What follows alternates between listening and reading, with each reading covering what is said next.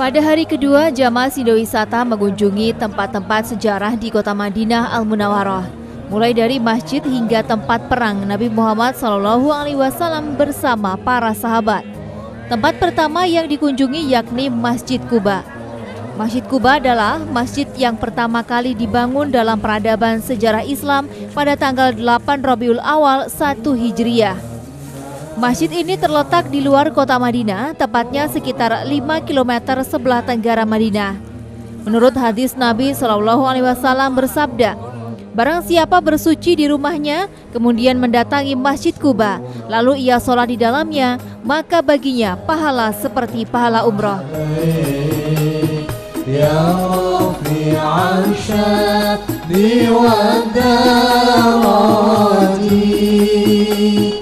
عطفت يدي العالم يا أهيل الجود والكرم يا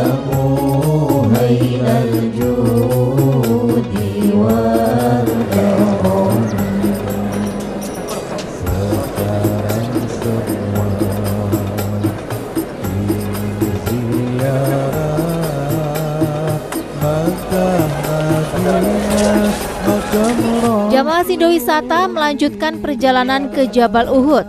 Jabal Uhud adalah bukit yang dijanjikan di surga. Rasulullah Shallallahu Alaihi Wasallam bersabda, Bukit Uhud adalah salah satu dari bukit-bukit yang ada di surga. Demikian hadis riwayat Bukhari. Di lembah bukit ini pernah terjadi perang dahsyat antara kaum muslimin sebanyak 700 orang melawan kelompok musyrikin Mekah sekitar 3000 orang. Dalam pertempuran tersebut, kaum muslimin yang gugur sampai 70 orang syuhada, di antaranya paman Nabi Muhammad SAW, Hamzah bin Abdul Muthalib. Para syuhada itu dimakamkan di tempat mereka gugur, yakni di sekitar Gunung Uhud. Rombongan jamaah Sidowisata Jawa Timur lantas mengunjungi Masjid Kiblatain. Masjid yang dulu bernama Masjid Bani Salamah ini menjadi saksi perpindahan arah kiblat kaum muslim. Sejarah Masjid dua kiblat ini diawali saat Rasulullah sholat zuhur bersama para jamaah di Masjid Bani Salamah. Dua rakaat pertama sholat zuhur masih menghadap Baitul Maqdis sampai akhirnya malaikat Jibril menyampaikan wahyu pemindahan arah kiblat. Wahyu yang diturunkan yakni Al-Quran Surah Al-Baqarah ayat 144.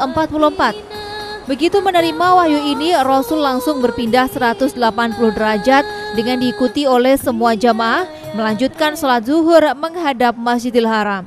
Assalamualaikum warahmatullahi wabarakatuh. Pemirsa JTV yang dimuliakan Allah Subhanahu wa taala di pagi hari yang cerah ini tentunya seluruh jamaah Umrah Indonesia Aqsa, Aqsa alhamdulillah telah melaksanakan ziarah-ziarah ke tempat-tempat yang bersejarah yang di antaranya di Kuba, kemudian Kurma, kemudian Uhud, dan saat ini kita berada di Kiblatain.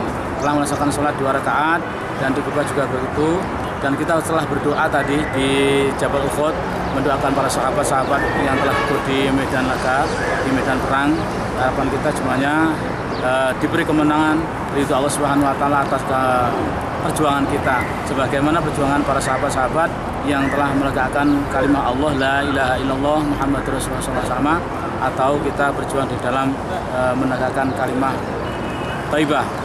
Alhamdulillah dalam beberapa hari ini uh, semua jamaah bisa berziarah uh, ke sejarah zaman nabi-nabi yang terdahulu. Uh, yang pertama yang di Medina di makom bak makom bak baki yang keduanya di Jabal Uhud, yang ketiganya di Masjid Kiblata ini. Selanjutnya besok-besok insya Allah banyak uh, yang akan di uh, semuanya. Uh, harapannya sendiri gimana Pak? Harapannya sendiri apa? Harapan saya uh, semoga uh, jamaah yang di Indonesia umumnya semua bisa ke Tanah Suci, ke Mekah dan ke Madinah uh, ikut Sindo Wisata memang lebih enak, lebih fasilitasnya lebih fasilitasnya lebih bagus dan uh, terpercaya. Tempat-tempat bersejarah di kota Madinah memberikan wawasan serta pengetahuan kepada jamaah sidowisata tentang perjuangan Islam dahulu. Perjuangan Rasulullah Shallallahu Alaihi Wasallam dengan para sahabat tentu menjadi teladan agar meningkatkan keimanan kepada Allah Subhanahu Wa Taala. Dari Madinah Al Munawwaroh, Kriswanto melaporkan.